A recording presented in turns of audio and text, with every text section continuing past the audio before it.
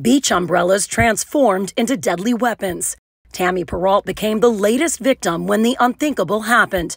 She was speared in the chest by a flying umbrella while enjoying a simple beach outing. The 63 year old woman was with her husband and friends near Myrtle Beach, South Carolina, when a strong gust of wind sent the umbrella flying.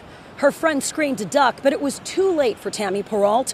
The sharp end of the pole struck and impaled her. Her husband, Mike, is reeling. It was just a regular day with all our beach friends, and then this happened. Devastated, he wants beachgoers to be on alert. Keep your eyes open. It could have been a 10 year old kid, and it just so happened that it was my wife.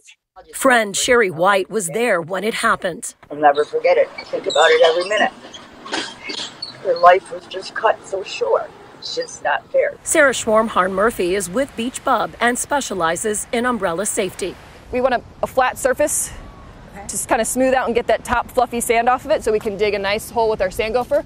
She uses a tool called a sand gopher to twist and dig a hole about two feet deep. Right. To ensure safety, she says an anchor is essential. Kind of lift two sides to create a little bit of pocket. Okay. I'm going to lift this one and then I'm going to fill from this side. In this case, she fills a yellow flap attached to the pole with sand to keep the umbrella weighted. All important tips to avoid another senseless beach umbrella tragedy.